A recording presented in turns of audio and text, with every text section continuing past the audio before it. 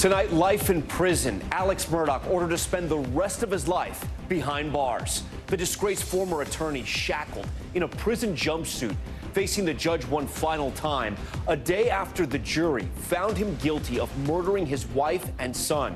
The judge addressing Murdaugh directly at length, telling him he will see his slain family members at night when he tries to go to sleep. How Murdaugh responded today in court and why his lawyers say they're planning to appeal his conviction. Deadly tornado outbreak, the terrifying scenes across the South. At least seven tornadoes touching down, leaving a wide trail of destruction. The dangerous system now barreling east. 80 million people under wind alerts. Bill Karins standing by with the track. Killer clues? The bombshell release in the Idaho College murder investigation. Authorities releasing the full list of items seized from the suspect's home in Pennsylvania. The weapons police say they found inside.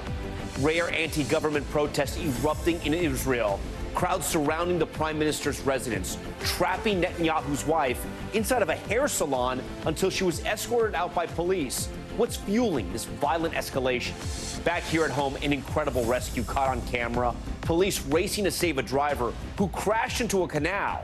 The new iPhone feature that may have saved his life. And first steps. Tonight, we'll bring you the incredible story of one little girl finding her footing after fleeing the war in Ukraine. The father daughter moment, years in the making. Top story starts right now.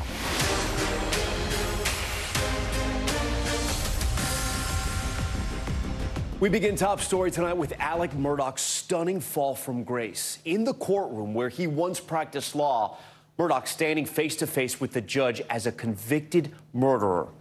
Murdaugh handcuffed and in a prison jumpsuit. You see him right here waiting to learn his fate a day after 12 jurors unanimously found him guilty in the murder of both his wife and his son. In a series of extraordinary exchanges, Judge Clifton Newman, speaking to Murdaugh directly, at times seemed sympathetic and at others incredulous in this moment, noting the irony that the prosecution did not seek the death penalty in this case. But over the past century, your family, including you, have been prosecuting people here in this courtroom, and many have received the death penalty, probably for lesser conduct. And then there was this chilling moment. The judge also telling Murdaugh he'll likely see his son and wife's faces when he tries to go to sleep at night, knowing what he did to them. After delivering that message, the judge handing down two consecutive life sentences, Murdaugh taken out of the courtroom and booked at the Kirkland Correctional Center in Columbia, South Carolina. You can see him here with a shaved head as he moves into the maximum security prison where he will spend the rest of his life. NBC's Katie Beck is at the courthouse once again for us tonight.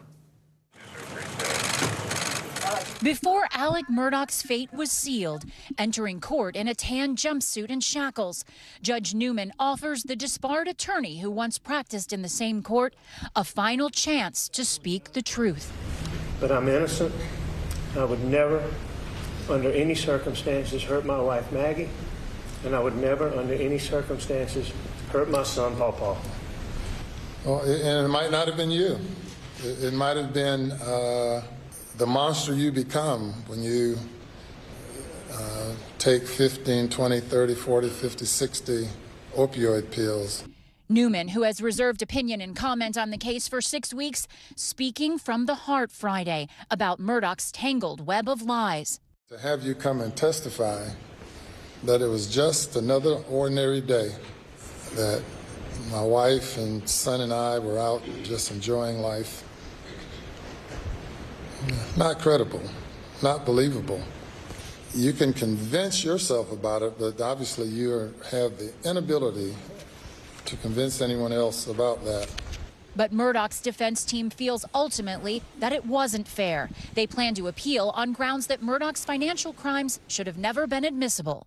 So it was judicial bait and switch. Murdaugh's team says they wavered on whether he should testify in his own defense, but in the end decided without it, he'd have no chance to be found innocent.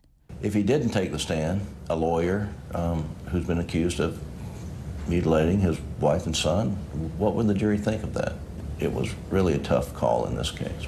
Was he always solid on the side of wanting to testify? Pretty much, yes. At times during the trial, Jim Griffin, who was originally retained to represent Paul Murdaugh in the 2019 boat case, overwhelmed with emotion. I respectfully request that you do not compound a family tragedy with another. Thank you. Never once during the whole uh, period of time did I ever think Alec could have murdered Maggie and Paul. And then I sit here today, um, my belief in that is as strong as it was um, the day they were murdered. Would you call Alec Murdaugh your friend? Yeah, he, he, he is my friend. I am, um, like many others, I'm disgusted with his conduct as a lawyer, and he's put a black stain on the legal profession. He has been very gracious, very humble. But for the judge, amends aren't enough, handing down two consecutive life sentences, saying accountability has come to call and will for all of Murdaugh's remaining days. And I know you have to see Paul and Maggie during the night times when you're attempting to go to sleep. I'm sure they come and visit you. I'm sure. All day and every night. Yeah, I'm sure. Katie Beck joins us now from Walterboro, South Carolina. Katie, I want to go back to those moments we just saw there. The judge in your piece, and it, it, what was the mood in the courtroom? Because it, it, seems so bizarre at times, so intimate, and, and yet so chilling.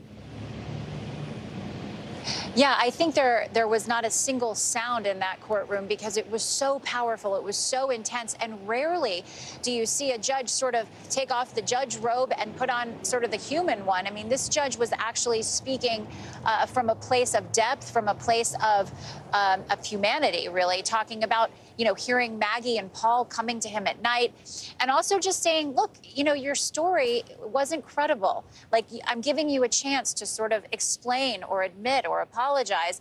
And you're still going back to what we've heard from the stand, which is over and over denying that you had anything to do with this. So it was a very, very, you know, as you said, chilling moment. And I think that, you know, I don't know that anyone was prepared for that. This judge has remained silent and without opinion throughout this trial, as judges should. Uh, so to hear this huge, huge outpouring today uh, was quite an event. Yeah, it was something you definitely do not see every day in a courtroom. Can you tell us anything more about the timeline for the Murdaugh appeal? Yeah, I would expect it to happen sometime in the next month. Uh, they will be filing all the way to the Supreme Court on the grounds that this evidence in the financial cases should not have been admitted in this trial. And that is because they say it prejudiced the jury, that, that basically they made the connection, as he said in the piece, a, a sort of judicial bait and switch that if he did this crime, he probably did this one. If he's a bad person because he stole, he's probably a bad person and committed a murder. So they say the jurors made that that made that leap because of the fact that these crimes were allowed in, and they shouldn't have been. So I think they will make that argument. They have to know what a steep hill that is to climb, though, in the in the legal sense. I mean, it is very, very rare that any court is going to overturn a jury verdict. Okay, Katie Beck. Katie, we appreciate it. We want to bring in now a special guest who we had on earlier this week. Richard Gabriel is a trial consultant and an expert on jury research who has worked on high profile cases, including O.J. Simpson, Casey Anthony, and Aaron Hernandez. Richard, thanks so much for joining Top Story. I want to start with a clip from an interview with the juror and ABC News. Let's take a look. For some people, it's so hard to understand how a husband, especially a father, would kill their own son. What made you so sure that he had? His responses, how quick he was with the defense, and his lies, steady lies. Did you feel like he was a liar? A good liar, but not good enough. What did you think when Alec Murdaugh took the stand? Hmm. I didn't think much of him. Really? Really. I didn't see any true remorse or any compassion or anything.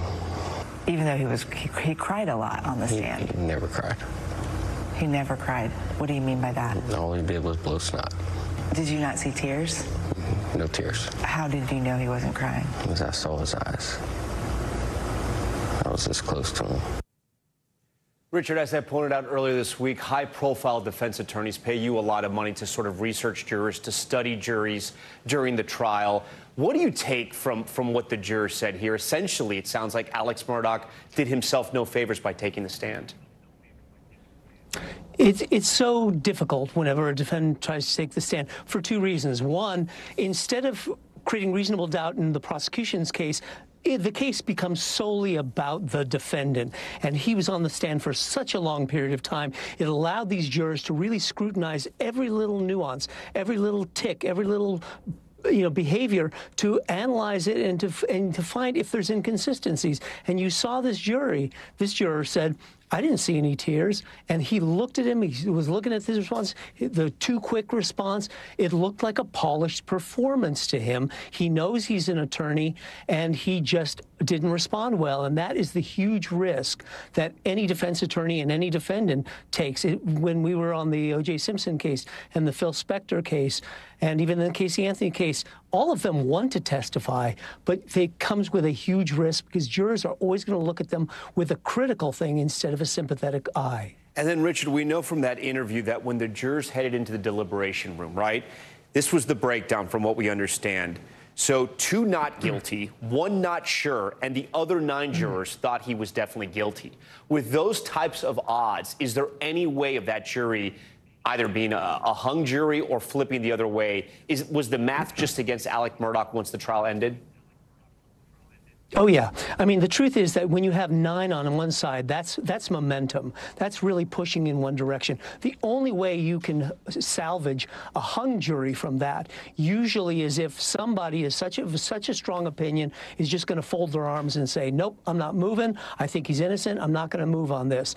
The, but the truth is that there's always two or three main jurors who are the four people or the opinion leaders, and there, if the two people or the three people that are uncertain are not that strong and they're talked into it or they just have some mere questions there, then it's going to move in that direction. And as you saw, whenever there's a, a verdict driven decision, in other words, let's just take a vote right now, who's in, who's out, then that's usually a quick decision, as we saw. You know, Richard, we know that, that there was going to be a little bit of drama today. We, we had no idea what was going to happen between the judge and Alec Murdaugh. I know you've seen a lot of court cases, you've seen a lot of trials, you've spent hours in courtrooms, right?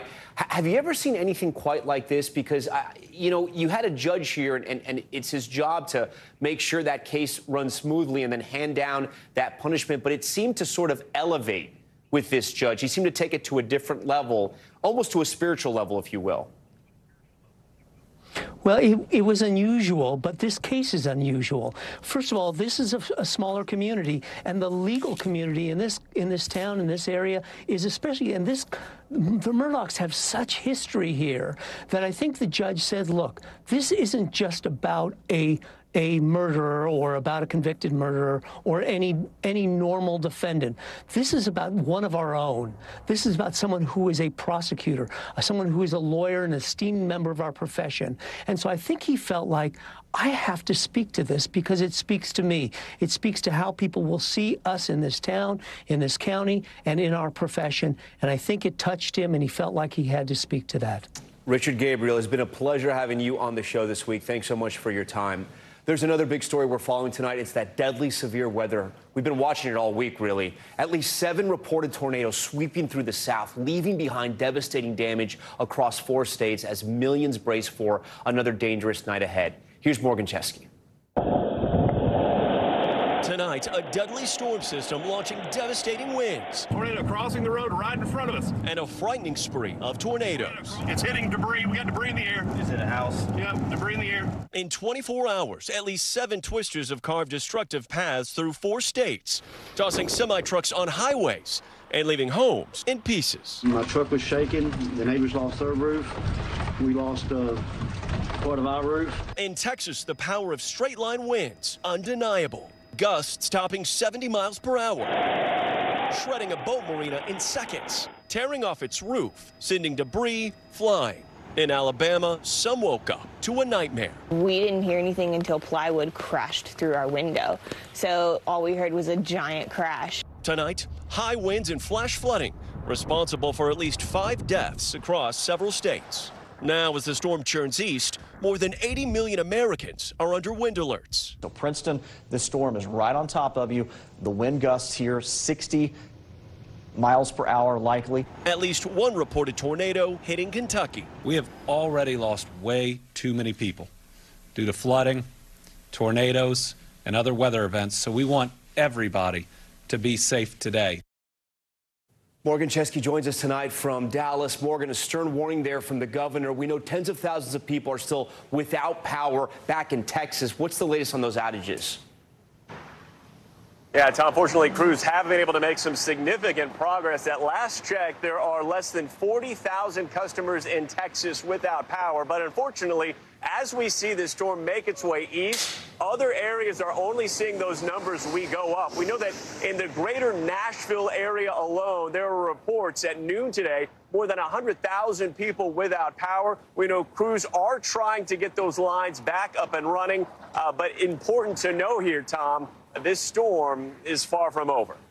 All right, Morgan Chesky, because of that, we want to get right over to Bill Karins, our meteorologist, who's joining us live tonight. Bill, walk us through what we should expect tonight into the weekend and, and next week. Yeah, we're still dealing with one of the strongest storms we've ever recorded in the Ohio Valley. It's actually one of the lowest pressures in Indiana going back 100 years. So the storm right now has produced a lot of wind damage. I mean, a ton of wind damage. Over a million people right now don't have power. The 911 call center in Louisville has put a memo out to everyone saying only call 911 if there's life-threatening injuries. Don't call if there's power lines down or trees down. That's how busy it is right now in that area because of these severe storms. So the severe threat from this storm system is ending. We're our last tornado watch will expire here at 8 p.m. this evening, and we haven't had any reports of any tornadoes since earlier this afternoon, so that's good. But the high winds continue, especially in Kentucky. Kentucky alone has a half a million half a million people without power tonight. In southern Ohio and then through the Appalachians, even through the southeast tonight and tomorrow, it's going to be very windy. And on top of this, after the sun has set, the snow has broken out. We have near blizzard conditions in Detroit. We are going to experience 6 to 12 inches somewhere in a narrow band here, southern portions of Michigan. And then later this evening, all all of the heavy snow will move into the northeast. Now, it's only going to stay snow north of Albany. It's going to be a wintry mess, snow to sleet, back to snow for the Catskills, central New York, and areas in especially north of the Mass Pike. So it's snow totals. It looks like around 4 to 8 for Albany, Boston about 2 to 4, nothing in New York, nothing in Chicago, and somewhere near Detroit around 3 to 6. Now, Tom, that wasn't enough. Guess what? We're reloading. Another storm is coming into the west. We're going to see another one to five feet of snow in the Sierra. Those people still are trying to dig out and get rescued. Yeah, still a wild scene there. Okay, Bill, we appreciate that. New details tonight on the ongoing cleanup efforts in East Palestine, Ohio, after a toxic train derailment almost a month ago. A new air quality report showing elevated levels of a chemical that could lead to health issues. The community now pressing government and Norfolk Southern officials for answers. Our Jesse Kirsch has the latest. Tension boiling over in East Palestine.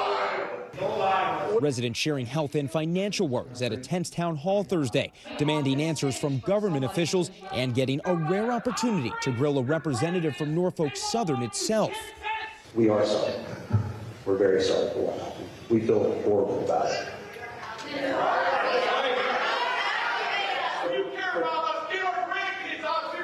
For, for, has there been any talk about relocating people? There is not. Residents also questioning why Norfolk Southern CEO Alan Shaw failed to show up. Where's Alan? Facing criticism of his own, President Biden reversing course, now saying he plans to visit East Palestine. I've spoken with every official in Ohio, Democrat and Republican, on a continuous basis. Meanwhile, researchers from Carnegie Mellon and Texas A&M universities say while monitoring East Palestine air quality, they discovered one pollutant, acrolein, at levels as much as three times above what's typical for an American city. That's a potential concern because acrolein uh, is what's called a hazardous air pollutant. It can irritate the the respiratory system, uh, and so if those higher concentrations are persistent, then that could be a risk to the people in that town a community entering a new phase of cleanup. The Environmental Protection Agency says once it approves Norfolk Southern's plan, the railroad will start temporarily removing train tracks and digging up contaminated soil. Norfolk Southern says that track removal began today.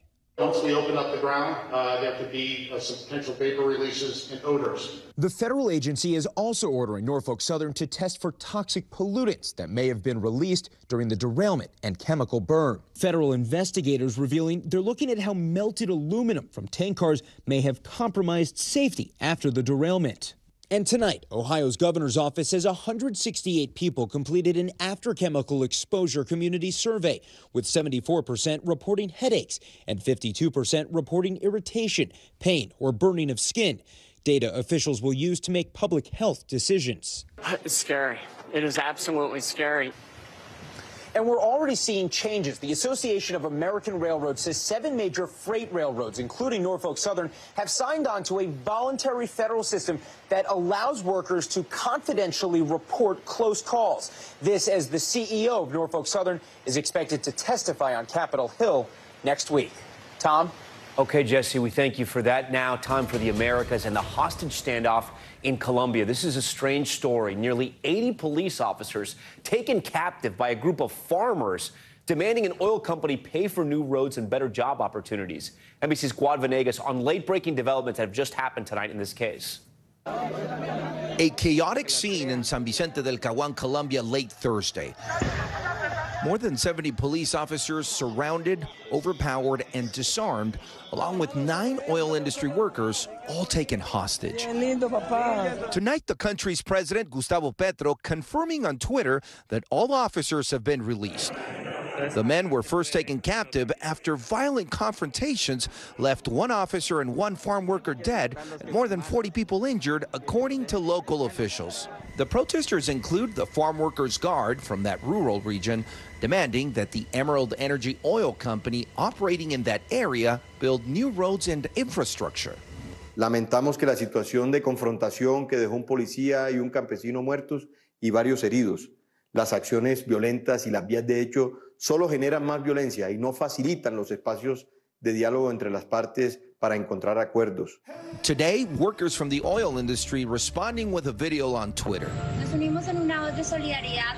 They reject the violence against captured colleagues and demand their release. Colombian President Gustavo Petro sending in the military and defense minister to restore order, while condemning the protesters on Twitter, writing, They want to destroy the government and bury Colombia in a war. They have now murdered a young officer. And with the release of the hostages, the Minister of the Interior had indicated the federal government would now negotiate and show their support to the farm workers, also adding that any other groups in the area attempting to take advantage of the situation will feel the full force of the Colombian military. Tom? Okay, Guad Venegas first on those late breaking developments. We want to head overseas now to the Middle East. Protests in Israel turning violent, but this time it's Israelis protesting their own government. It's a sight rarely seen police firing stun grenades on their own people. NBC's Matt Bradley has more on what's causing this escalating divide within the country. Israel spiraling out of control with inner turmoil. Violent protests erupting of Israelis on their own government. The unprecedented demonstrations reaching a breaking point. The rare uprising blocking roads and disrupting trains, clashing with police who fired stun grenades and water cannons. It's all happening as thousands of people across the country took to the streets on Wednesday during a nationwide day of disruption. For two months, Israel has been experiencing regular protests against Prime Minister Netanyahu's plan to reform the courts, which he says is necessary to curb what he calls activist judges. But opponents say it's pushing the country towards authoritarianism. Crowds even gathered outside an upscale hair salon where Netanyahu's wife Sarah was getting her hair done. Some chanting in Hebrew, quote, the country is burning and Sarah is getting a haircut. Israeli media said police were called to her aid and she was removed from the scene unharmed. Her husband later tweeting, The anarchy must stop. It can cost lives. And the protests even extended to outside their home in Jerusalem. Demonstrator alluding to a Palestinian village in the occupied West Bank, where violence is the worst in 20 years, according to the Palestinian Health Ministry. As Israel copes with its own internal unrest, it is also dealing with a wave of violence with the Palestinians uh, in the occupied uh, West Bank. An Israeli raid of a safe house left 11 Palestinians dead last week, With militants, the Israeli Defense Forces said they were targeting among them, along with some civilians. Then two Israelis were killed, leading to a mob of Jewish settlers setting Palestinian homes and cars on fire, leaving one dead. At night, the settlers attacked us. I saw them, said this child. When they burned the car, my mother went down with a bucket of water to put out the fire. Netanyahu calling for peace and saying people should not take the law into their own hands, but also vowing to expand the settlements. The newly appointed hardliner finance minister Bezalel Smotrich calling on the Israeli government to wipe out the village. Saying in Hebrew, I think the village of Hawara needs to be erased. I think the state of Israel should do it. The U.S. State Department condemning his comments. These comments were irresponsible, they were repugnant, they were disgusting. And just as we condemn Palestinian incitement to violence, uh, we condemn these provocative remarks that also amount to incitement to violence. The turmoil putting pressure on Israel's government across multiple fronts as the country braces for more violence. Matt Bradley, NBC News. Back here at home, saved by the iPhone. New video of police saving a driver after he crashed into a Florida canal. They say he was unable to call for help, but it turns out his iPhone did it for him. We'll explain. Plus, admission shakeup, the Ivy League school that will no longer require SAT or ACT scores on applications. So, how do you get in? And first steps, the incredible moment a six year old girl walked on her own two feet for the first time.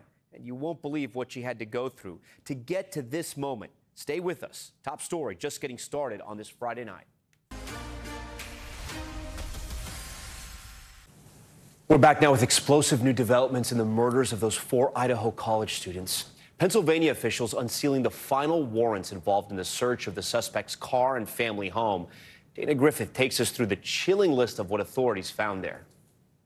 Knives, guns, a black hat, and mask. Just some of the over 30 items authorities seized while searching the home and car of accused murderer Brian Kohberger, according to newly unsealed search warrants. This is State of Idaho versus Brian C. Kohberger. Kohberger is charged with the murders of University of Idaho students Ethan Chapin, Madison Mogen, Xana Kernodle, and Kaylee Goncalves. They were brutally stabbed to death last November inside their off campus rental home. The two warrants detail for the first time findings of the December 30th search of Pennsylvania family home and a white Hyundai Elantra, potentially linking him to the crime scene. There is no indication in the documents that any of the knives recovered during the search were the murder weapon. The black clothes and mask could be of particular interest since an affidavit by a surviving roommate describes a quote, figure clad in black clothing and a mask.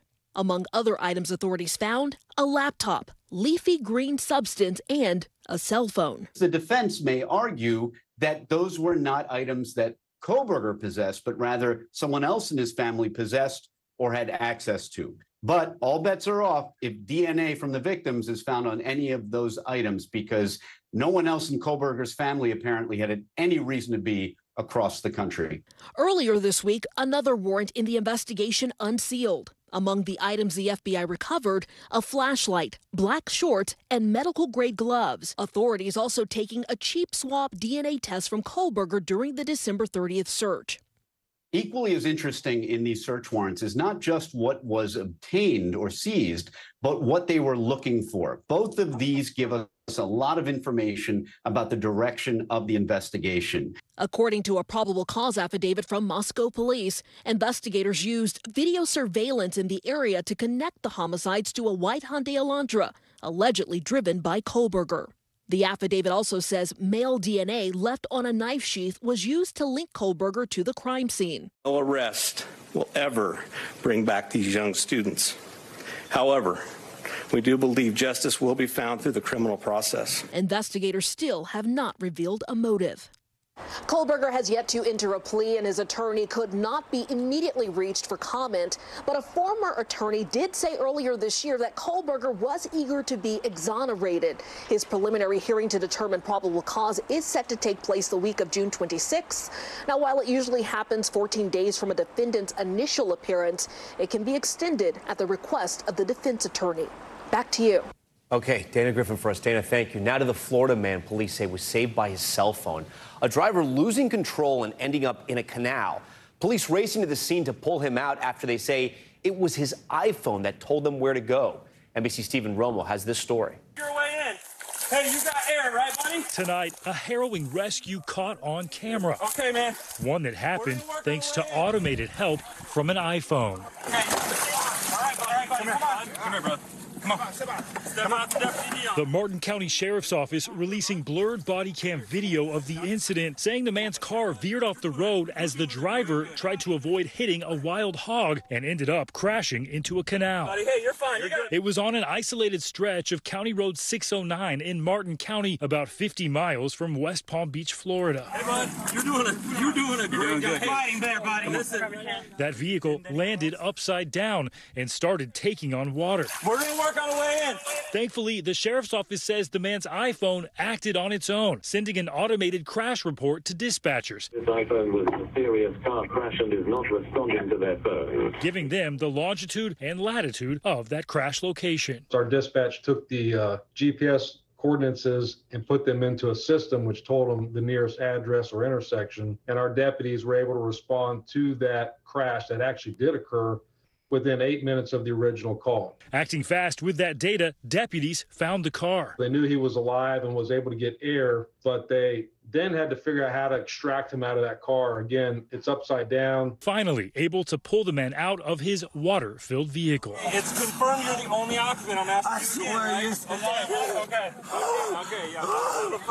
Apple's automated crash reporting is a new feature unveiled last year. It's turned on by default if available on a device, which includes the Series 8 Apple Watch as well as the new iPhone 14. It provides an OnStar like alert to authorities about a suspected crash using GPS data. Google also has a similar feature available on its personal safety app for other devices. Now, your iPhone can connect you with the help you need when you're off the grid. Last December, a couple was rescued in California after their car plummeted off a cliff in Angeles National Forest. They had a shattered phone and no cell service, but were found because of an iPhone crash detection alert. It said, um, uh, collision detected. Would you like us to report it to emergency uh, services? The feature already proving to be a lifesaver. The sheriff's office says the driver in the Florida crash was taken to the hospital and treated for only minor injuries, a situation that could have easily been much worse. All right, Steven Romo joins us now. This is an incredible story. So you were just telling me you you have to have the iPhone 14. So how does the technology work? Do you have to turn it on? And then what happens if you have an Android? Well, the good news for Android users, there's a couple different apps that do this. You just have to search for crash detection in the Google Store, and they'll direct you to those. For Apple, iPhone 14 and the Series 8 watch, that comes on by default. If you want to make sure it's on, you can just search SOS in your settings and then scroll down to crash detection, and you'll see that it's turned on, and you'll feel better about it. So uh, it's the new technology only on the new phone right now. And, and you said you, you mentioned on on the watch as well. You Yeah, can the new this. watch, Series 8. Okay, and then I have to ask you. I mean, sometimes the technology is great. It's incredible. It saved this guy's life. Um, sometimes it can it can malfunction or it can think you crash. Maybe you're doing a workout or something and it's freaking out. Um, what happens in those situations? How, how can you make sure it doesn't call the police? Yeah, that's actually a a point that law enforcement made. They get a lot, apparently, of these false reports so far. Uh, things like skiing has actually set it off before. Uh, it gives Apple gives you 10 seconds to deactivate it if you are skiing or something and you fall and it says there's a crash. You have 10 seconds to turn it off. But they're always refining that system. It only came out just last year, so they're still trying to upgrade it. The sheriff's department we talked to, though, they say they prefer this. They'd rather go out and check some false alarms if it means saving lives. Ski gloves and your ski pants. That Right. just seems like that Getting seems to take out. Longer than 10 Yeah. seconds. Okay, Steven, we appreciate it. When we come back, ExxonMobil sued. Have you heard about this one? The company accused of failing to act while a black coworker faced repeated racism at work, including several nooses found at the job site. The federal lawsuit Exxon is now facing, and the stolen car slamming into a building during a chase. Then causing the building to collapse. Look at this video. Why the officers involved are also under investigation.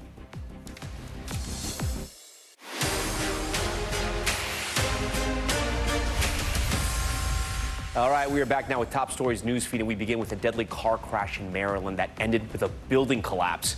New surveillance video, check this out, shows a driver in a stolen car. He's fleeing from Baltimore, Baltimore police when it crashes into another vehicle and flies onto a nearby sidewalk where a pedestrian was standing. That car then plowing into a vacant building, causing it to crumble. That pedestrian was killed and the driver was arrested. The state's attorney general, though, now investigating if officers followed protocol during that pursuit. The federal government suing ExxonMobil over allegations of racism at a plant in Baton Rouge, Louisiana. The suit alleges a black employee's civil rights were violated when five nooses were found at the plant between April 2016 and December 2020. The company is also accused of failing to stop workplace harassment. Exxon has denied all those allegations. And back here at home, a potential game changer for standardized testing. Columbia University announcing they will keep a pandemic policy in place and will no longer require the SAT or the ACT for incoming undergraduate students. It's the first Ivy League school to permanently make those tests optional. They will instead admit students based on, quote, academic talents. All right, next tonight to a top story exclusive the big steps for one little girl. Six year old Elisa was born with a congenital leg condition in Ukraine, fleeing the war zone and coming to America for a life changing operation. We were right there to witness some of her first few steps. It's the father daughter moment Elisa and Volodymyr Zakharchuk had been waiting years for. The final visit to the doctor that could, maybe, help her run and play with her little sister. We like to play this game with Karina, my favorite game. Karina has no problem running, but for Elisa, it's been more than a challenge. But now I cannot run on my own, so I'm running on my father's arms. Since she was born in Ukraine, six year old Alicia has struggled to do just that. Born with a congenital leg condition, her right leg grew five inches longer than her left, making it hard to walk, run, and play like any other kid. I want to make her healthy and want to make her legs the same length so she would be able to walk fully, run, and enjoy her life. Her father had made it a mission to find a doctor who could help, searching all over the world for a specialist. Then, early last year, a breakthrough. I looked at her case and I said, Yeah, I can help you. If you can get here, we can do it. Dr. Robert Rozbruch of the Hospital for Special Surgery in New York City is an expert in this kind of rare limb lengthening procedure Elisa needed. Since the family was in Ukraine, the doctor met with him virtually. But just six days later, the unthinkable. And good evening. We are coming on the air with breaking news. Ukrainian officials telling NBC News their country is under attack. Russian forces laying siege to the capital of Kiev. Their home, now a war zone.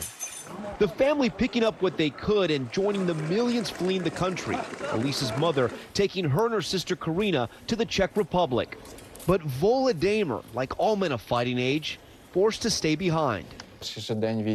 For the next few months, I didn't know what will happen, how the war will go. Her father never giving up hope, securing a special visa to come to New York months later. We have an approximate. The hospital welcoming the family in August for the surgery and covering all medical expenses. So, this is my surgical plan to straighten out the leg and to use a fixator with a bone cut here and a bone cut here to lengthen and correct the malalignment. Dr. Rozbruch placing Elisa in a complex leg brace known as a fixator, which allowed him to slowly extend the length of her leg. What followed were six months of grueling doctor visits, but each filled with moments of hope. You are doing so well. Give me five. Good job. Elisa, with the help of a walker, inching closer to walk on her own. Nice. By January, her bones had begun to heal. The fixator taken off Elisa's leg, replaced with a cast, which was removed a few weeks later. So when I first met her, she was walking uh, with this prosthetic, something that an amputee would wear. Now she can wear, you know, sort of a more normal, uh, cute shoe. The bone looks very, very good. You see the bone is nice and straight. I'm very confident that by the time this girl is 14 years old, that she's going to have equal leg lengths, straight legs, and be walking like a normal teenage girl. Hello. And we were right there for Elisa's major test to see if all the treatment, all the therapy was working. Could the little girl with dreams of walking like the other kids cast aside that walker and walk on her own? Here she is, her father still by her side, and Elisa taking some of her first steps into her new life. Молодець, молодчинка, супер, супер, ти молодчинка. You don't have to speak Ukrainian to understand the struggle and the courage of this little girl. Відчував лише, лише You see how much щастя progress she makes, and your eyes fill with tears of joy. Коли ти бачиш, коли твоя дитина ходить. When you see your child walking after all of those surgeries, taking her first steps, you are reliving the same feelings as when she was taking her first steps when she was a baby. For a family that's been through hardship, setbacks, and even war, now a reason to smile and take a walk. Thank you for watching Top Story. I'm Tom Llamas in New York. Stay right there. More news on the way. Thanks for watching our YouTube channel. Follow today's top stories and breaking news by downloading the NBC News app.